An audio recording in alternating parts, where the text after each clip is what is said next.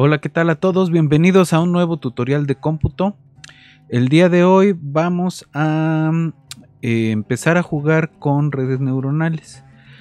Hoy vamos a empezar, a empezar con un eh, proyecto sencillo eh, para clasificar los datos de, un, de un conjunto de datos que ya hemos trabajado en otros este, tutoriales, que es el conjunto iris que eh, son este, distintas flores, ¿no? Entonces, este, la idea es eh, tratar de clasificar esos datos, ¿no? Entonces, en este tutorial y, este, vamos a tratar de eludir eh, los, este, las bibliotecas específicas de este, Machine Learning. Ah, esas ya tienen implementados los algoritmos que queremos trabajar en, estas, eh, en esta serie, digamos. No sé este, exactamente en cuántas partes lo vamos a dividir, pero eh, si la idea es esto hacerlo a pata. Eh, lo que vamos a usar es el algoritmo de retropropagación o backpropagation eh, y eh, lo vamos a implementar lo más a pata que se pueda. Entonces, vámonos a la computadora y continuamos.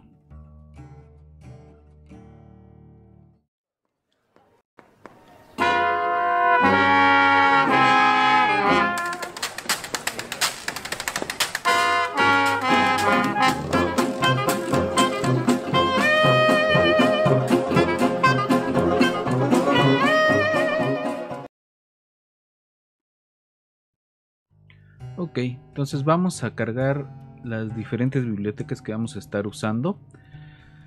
Ah, vamos a importar NumPy.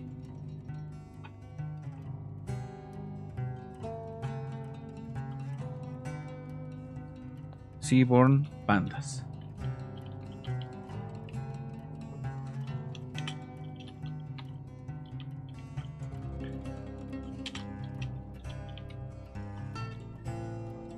Vamos a importar Seaborn. Eh, vamos a importar este pandas. Y vamos a importar no sé si lo necesitamos matplotlib pero bueno.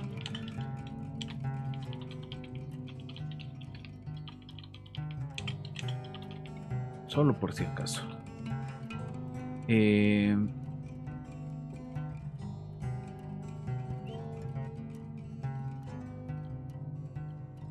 Entonces vamos a usar eh, el conjunto de datos iris que ya habíamos usado en, alguna otra ocasión.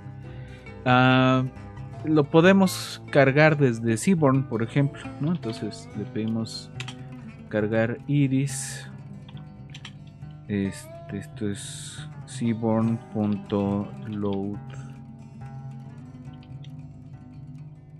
dataset se llama Iris. Este, y esto ya es un, un, este, ¿cómo se dice esto? Una, un data frame de pandas, ¿no? Este, este ya lo hemos visto otras veces. Eh, para quienes no han visto los anteriores eh, los anteriores tutoriales eh, sobre manejo de datos y sobre visualización eh, este conjunto de datos tiene las dimensiones de los pétalos y los sépalos de tres distintas este, eh, especies de, flores, eh, la versicolor, setosa y virgínica, este, de estas flores iris. Entonces, este, son eh, bastantes datos. Esta es una muestra nomás de 5 y ya, ¿no? Si le pedimos una descripción de esto,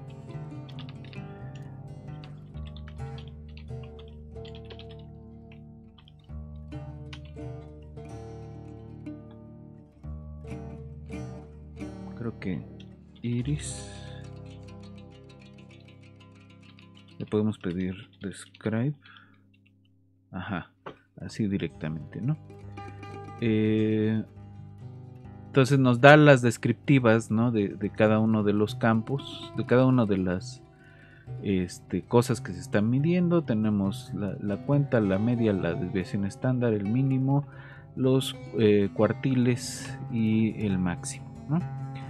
Eh, podemos hacer una cosa para visualizar rápidamente estos datos. Ah, con un perplot eh, iris y vamos a usar de variables este sepal length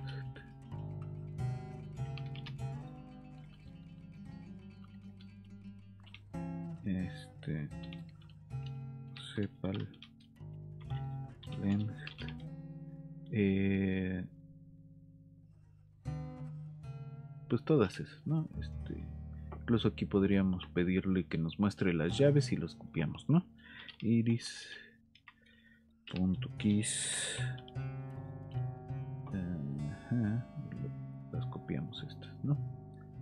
Las cuatro características las ponemos aquí como variables. Em, y los vamos a distinguir por especie.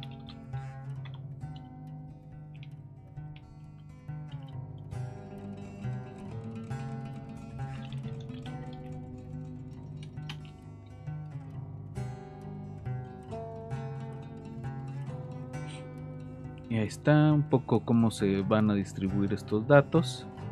Este, cuáles son las más numerosas, etcétera. Ahí está. Ahora vamos a trabajar eh, antes de empezar este, a darnos de topes con las redes neuronales. Eh, vamos a empezar a trabajar con los datos. Entonces, lo primero que vamos a hacer es normalizar. Eh, vamos a aplicarle. Vamos a ponerle iris n. Eh, es iris. Vamos a tomar este pues estos mismos no y a esto les vamos a aplicar una función esa función lo que va a hacer es este x lo va a mandar a x menos el x punto mínimo. Eh, sobre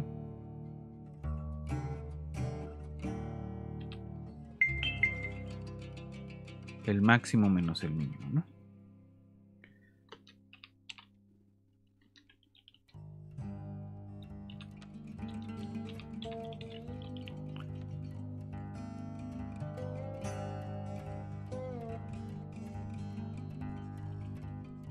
entonces el iris n tiene esto o sea nomás nos quedamos con estas cosas ya no cargamos la la la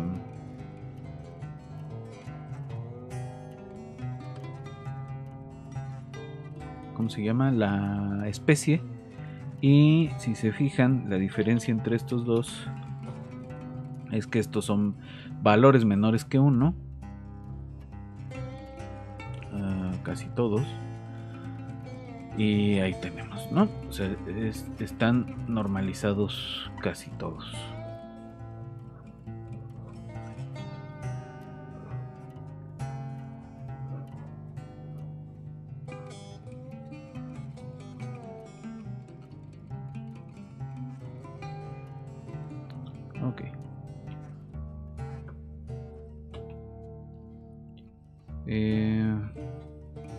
También podemos hacer la, descripción de este.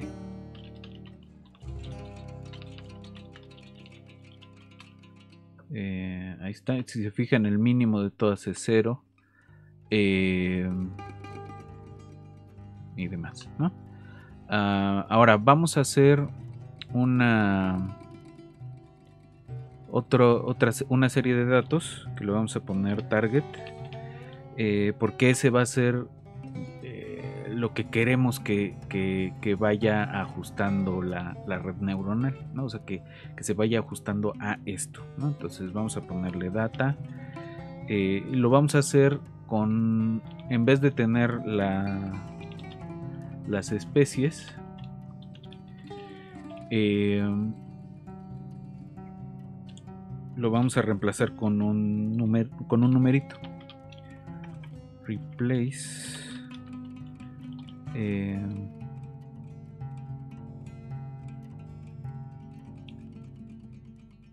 entonces tenemos que poner cada, cada valor contra qué, ¿no? Entonces la cetosa, la versicolor y la virgínica. Las vamos a cambiar por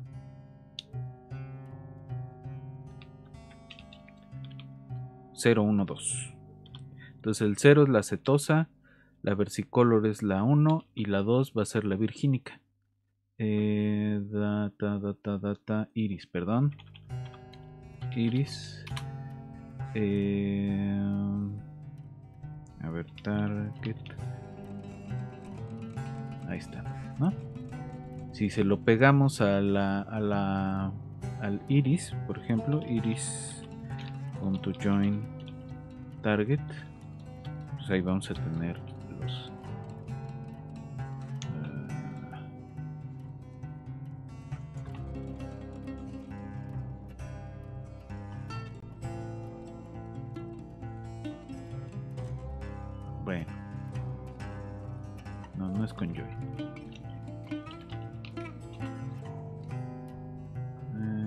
que como no tiene, como es nada más la, bueno, siempre podríamos ponerle este target t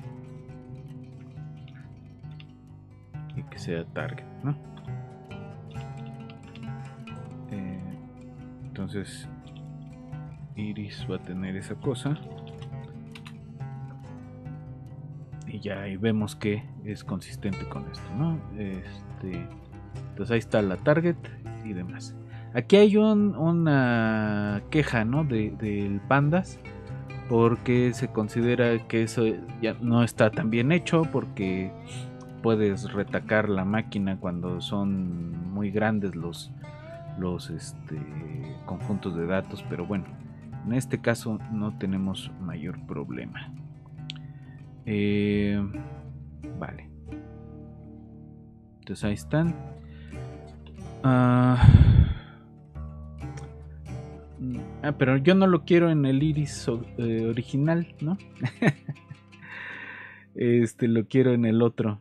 Entonces, en el iris normalizado, le vamos a poner que esa es la columna de especies, ¿no?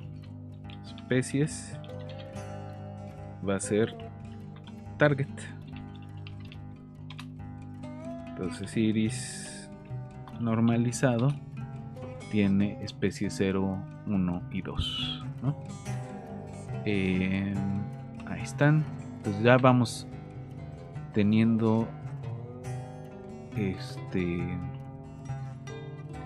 más o menos ordenado esto y ahora vamos a hacer un conjunto de entrenamiento se llama que es con lo que vamos a, hacer las eh, las pruebas de nuestro algoritmo de retropropagación.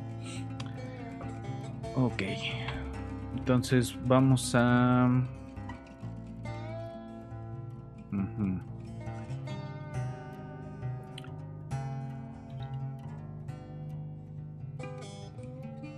Entonces vamos a hacer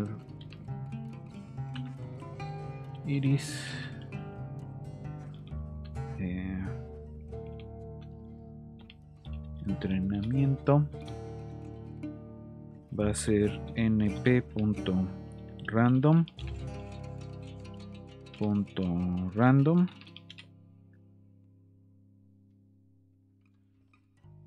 A ver. np punto random punto rand. Y aquí vamos a hacer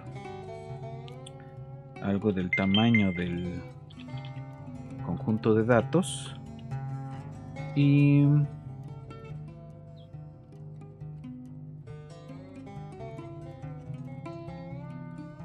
este le vamos a poner que sea menor que alguna condición, ¿no? Que esto va a ser punto 9. Entonces, ¿quién es ahora Iris? Por ejemplo, este una muestra pequeña. Este, y le vamos poniendo ahí entrenamiento, verdadero, verdadero, falso, falso, verdadero, ¿no? Quienes están en el conjunto de entrenamiento, ¿no? Ah, ok. Entonces vamos a poner, vamos a separar el conjunto de entrenamiento. Entonces le vamos a llamar train. El iris. Tal que tiene train verdadero. Entonces train son todos estos no 137 que debería ser el 90% de nuestro de nuestro conjunto original.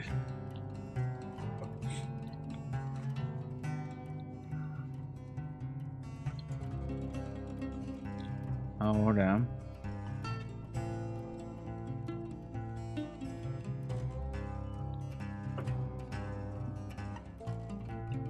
vamos a llamarle prueba o test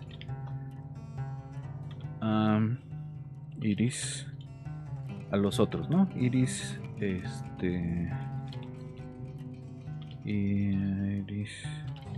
Punto train. Falso.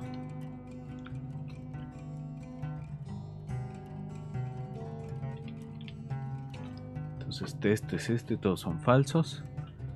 Y vamos a quitarle este de aquí. Test. Punto. Test eh, perdón, test ahora va a ser test.drop. Los que tengan este valor en toda, toda la columna train, perdón, este en el axis 1. Em, y ahora quién es test es este hasta la especie, ¿no? Este, de hecho aquí Ah, ah, ah, Quizás deberíamos trabajar con el otro mejor. A ver. Iris. Sub n. Sub n. Volvamos a hacer esta parte. El entrenamiento va a ser de ese iris sub n. El entrenamiento. y de aquí también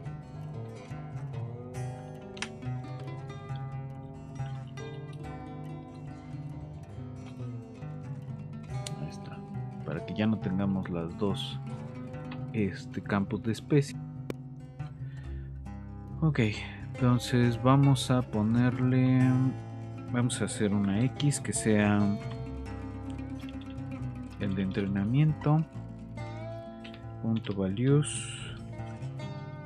y vamos a quedarnos con todos estos y del otro lado hasta el 4 nada más entonces quién es X es esto de aquí.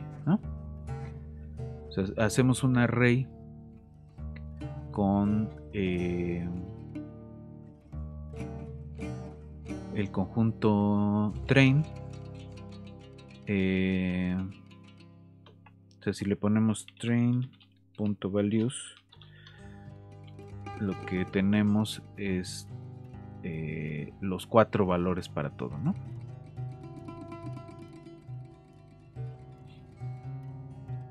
Perdón, no. Eh, sí, o sea, tenemos este, 2, 3, 4, este y si es verdadero o no. y entonces con cuando le ponemos que nos deje eh,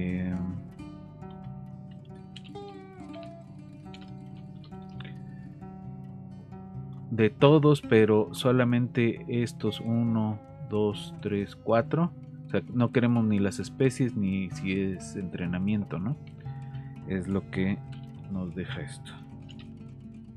Todo hasta el 4. Y ahí está. ¿Sí? Entonces esa va a ser la X y luego de targets vamos a hacer otro, otro array. Eh,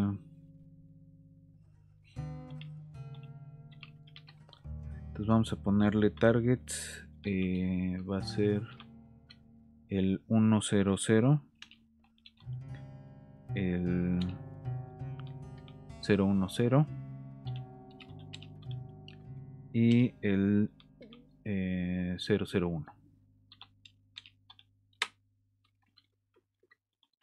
¿No? Estos van a ser los objetivos. Y vamos a hacer y que sea un array tomando los targets. Targets. Eh, pero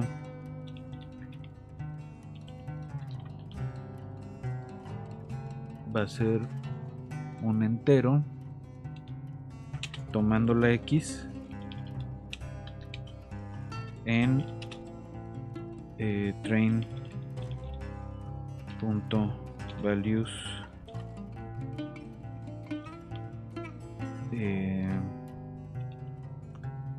recorra todo y aquí nada más de la columna 4 que es donde tenemos las especies entonces la y es este array ¿no?